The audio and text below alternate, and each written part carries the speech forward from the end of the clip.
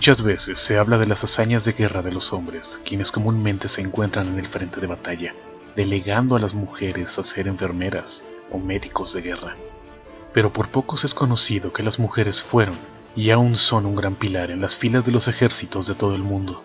Lamentablemente, no tienen el reconocimiento que merecen, y este es el caso de Lyudmila Pavlichenko, o como los alemanes la llamaban, la perra rusa del infierno. Lyudmila Mikhailvina Pavlichenko nació el 12 de julio de 1916 en Belaya Tersekov, Ucrania. Su padre trabajaba en una fábrica mientras su madre era educadora. Cuando ella tenía 14 años, su familia se mudó a Kiev, capital de Ucrania. Ahí vivieron felices. Lyudmila dedicaba el tiempo a estudiar historia en la Universidad de Kiev. Trabajaba en una fábrica de arsenal, también en Kiev, y su tiempo libre lo dedicaba al campo de tiro, donde se volvió muy diestra con el rifle.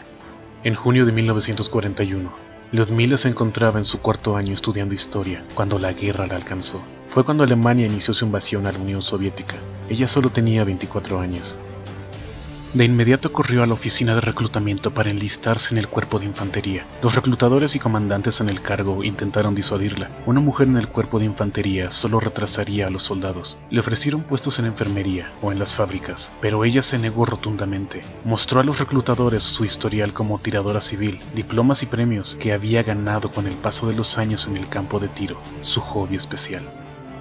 La evidencia era irrefutable. Pavlichenko, además de tener una voluntad inquebrantable, también era una excelente tiradora. Fue así que se unió a la 25 División de Infantería del Ejército Rojo.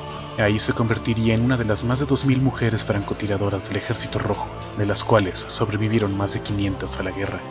Después del gran entrenamiento que pasó con excelencia, fue enviada al frente cerca de Odessa, Ahí fue donde realmente se dio cuenta a lo que le tendría que disparar. No eran blancos de papel inmóviles, no eran animales, no eran objetos, eran soldados, eran seres humanos. En este frente ella combatiría por cerca de dos meses y medio. Ahí perfeccionaría su técnica. Usaba pañuelos amarrados a ramas de arbustos para que ondearan con el viento, para así distraer a los enemigos. Amarraba maniquíes con ropa de soldado a los árboles para usarlos como carnada y cazaba alemanes bajo la lluvia para callar el sonido de sus disparos. Muchas leyendas comenzaron a esparcirse sobre ella, una de la cual dice que mientras se encontraba trepando por las ramas de un árbol para tener una mejor visibilidad del área, fue encontrada por el enemigo, el cual sin dudarlo disparó.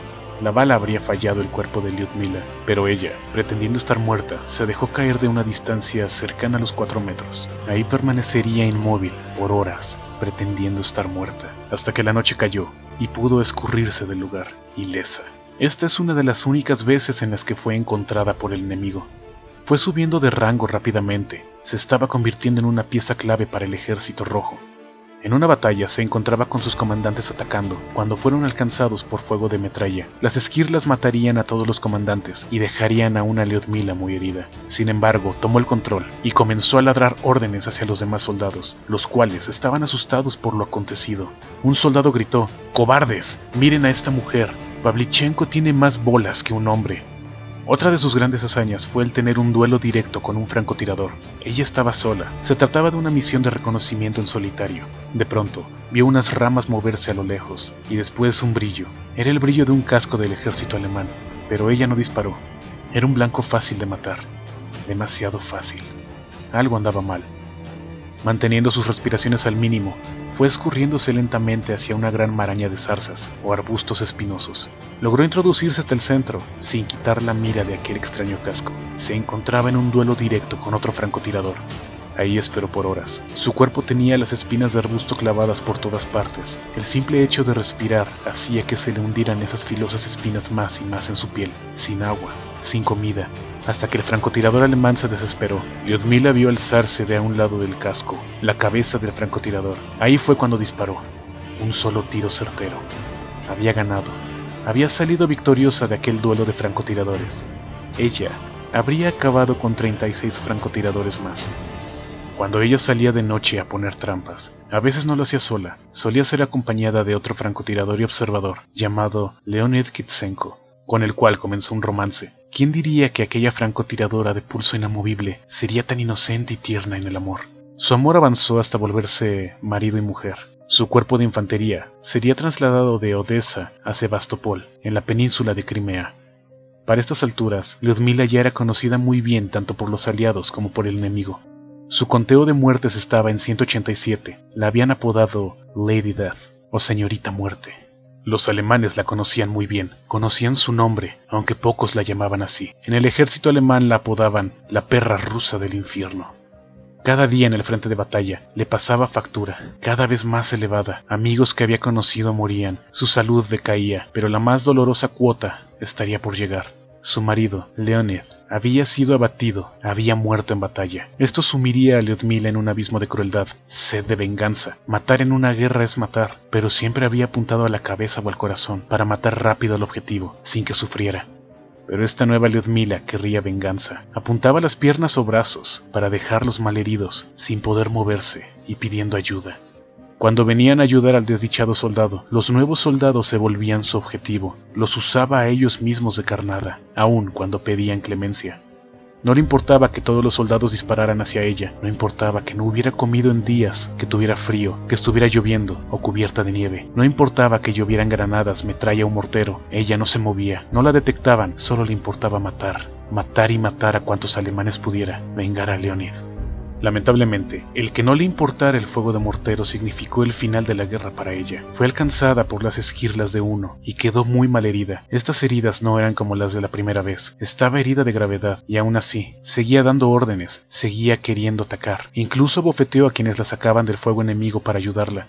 Lamentablemente, se encontraban en desventaja con el enemigo y evacuaron de inmediato. Esto fue en junio de 1942. Su conteo oficial para ese momento era de 309 soldados abatidos. Sin embargo, solo es el oficial. Las muertes que tuvieron algún testigo. Según otras fuentes, podría este número subir hasta más de los 500. Una francotiradora que en poco menos de un año logró acabar con 309 soldados. Después de algunos meses en recuperación, se le encomendó una nueva misión, pero esta no se encontraba en el frente de guerra. Su fama la había sobrepasado y era mucho más valiosa haciendo propaganda soviética, por lo que iniciaría una gira por Canadá y Estados Unidos. Ludmila se convertiría así en el primer soviético en ser recibido en la Casa Blanca por el presidente de los Estados Unidos, que para ese tiempo el cargo lo ocupaba Franklin Delano Roosevelt. La primera dama, Eleanor Roosevelt, le propuso iniciar una gira por todo Estados Unidos para que pudiera dar testimonio de su experiencia que vivió siendo soldado y siendo una francotiradora excepcional. El New York Times la apodó Sniper Girl o chica francotiradora, lo que a ella le molestó más que cualquier otro sobrenombre que le hubieran puesto en el frente de batalla, los periodistas estaban más interesados en si las mujeres se pintaban las uñas, eran femeninas o se maquillaban en la guerra. Nadie comprendía lo que era no haber dormido en tres días, no haber comido por tres días, ver a tus camaradas morir al lado tuyo, muchos de ellos descuartizados por los tanques, otros más quemados. En uno de estos discursos ella dijo, tengo 25 años y he matado a 309 invasores fascistas hasta el momento. ¿No creen, caballeros, que han estado escondiéndose a mis espaldas por mucho tiempo? Regresaría a la Unión Soviética, pero su leyenda era tan importante que jamás volvió a la batalla. En realidad se quedó atrás, entrenando a otros francotiradores del Ejército Rojo hasta que terminó la guerra. En 1943 recibió la Estrella de Oro de la Orden de Lenin, convirtiéndola en una de las más grandes heroínas de la Unión Soviética. Aunque permaneció muy vinculada con el ejército, ella retomó el tiempo perdido, terminando su carrera, volviéndose historiadora, Increíblemente, ella habría creado historia y ahora se dedicaría a estudiarla. Ella pasaría a la memoria como la mejor francotiradora de la historia. Moriría el 10 de octubre de 1974, a la edad de 58 años. Esta es solo una de las tantas historias de mujeres que han demostrado tener más agallas que los hombres, más inteligencia y más valía a través de la historia. Necesitamos más mujeres como Ludmila Pavlichenko, Espero te haya gustado. Si fue así, recuerda suscribirte, darle like y compartir el video. Eso ayudaría mucho. Hasta luego.